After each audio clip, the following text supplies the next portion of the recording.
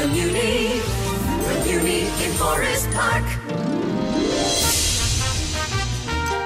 Hi, I'm Mike Isaacson, the executive producer of The Muny, and I'm here at the PNC Gazebo talking to Rob McClure, who is back at the Muny this season as Bert and Mary Poppins after taking the town as Farquaad in Shrek.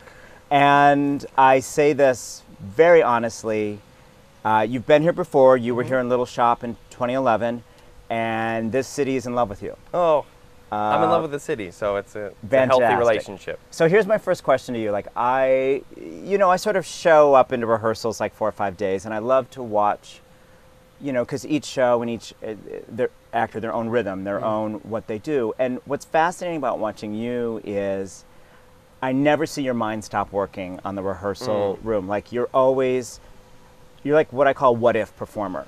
Like I always feel like you approach every moment as what if. What what is that? Yeah. Is that Yeah, I think I, I've I've never sort of diagnosed it, but I, I, I think I think that's right. I think that's right. I love I love the sense of play.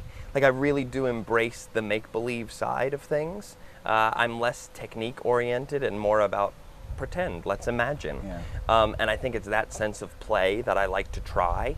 Um, and uh, and when it's the right kind of team, and Gary and Alex and, and the team behind the show, and you, embrace that sense of of what if and that sense of uh, just try it, try it, and we'll see. Yeah. Um, I- love that. I love that sort of atmosphere. you have great instincts when you're playing. Mm. Like you'll, I'll see you, and you know, you just you just hit it. And I'm fascinated for you as as a person, as an artist, as a performer. Like growing up, how did you discover that you had that? Um, I think uh, I learned from from watching, uh, from watching and admiring. Uh, I- I'm a huge fan of this art form ab- above uh, even being a participant in it, and I feel like the people that I love watching, the the the Ray Bolgers and the Dick Van Dykes and the um, a- and acro- that goes across the board. They don't have to have to be song and dance men. The Cole Wilkinsons and the just the fearless. They just there's something about them that they just go for it. Um, and and that's that's what I hope I'm doing. And I hope I'm finding my own sort of sense of abandon and my own sense of uh, what it is I have to bring to the table. And in roles like this that are so much fun and so nostalgic and so um, special and joyful um, eh, the sense of play I think lends itself to that. And uh, so I hope that my instincts are are in line with that because that's what I'm I'm hoping for. So you grew up in where'd you grow up? Jersey, Jersey? North, North Jersey, right across the George Washington Bridge. From so were you were always going to Broadway shows? No, no. I thought I I uh, I, I was a late bloomer. Uh, uh, uh, some people start when they're really young, but I, I started with the high school shows, and I didn't know I was good at it. I just knew it was fun.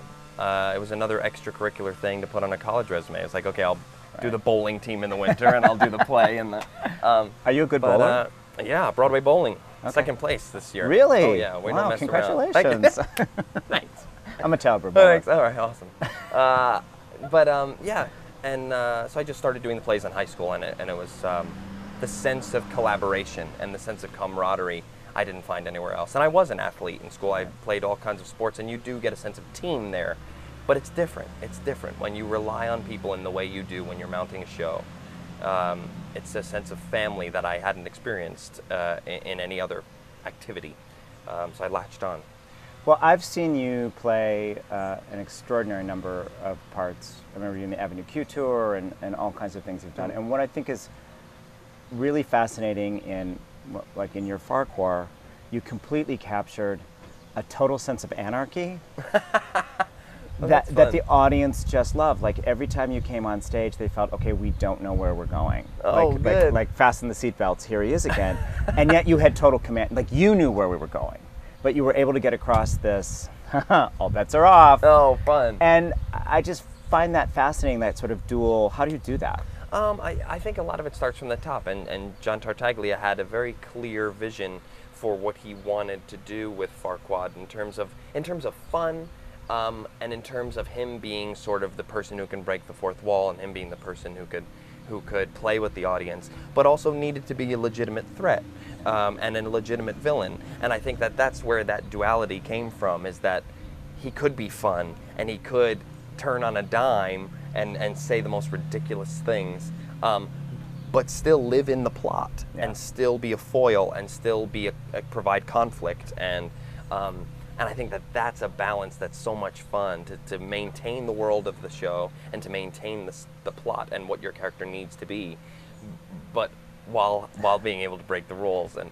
But it's, it's funny because Johnny at one point said to me, he said, "What I'm loving about Rob, what he's doing is he's he's willing to when he needs to be truly evil."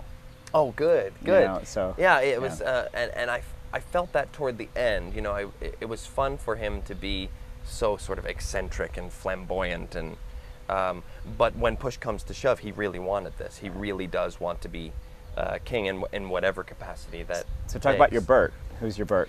Bert, uh, yeah, it's so funny because uh, so many people ask me, is he real? Is he there? Is he a storyteller? Is he a guardian angel? Is he Mary's boyfriend? Who, who is this guy? And the answer is, I think it's up for grabs. I, I don't think it's nailed down.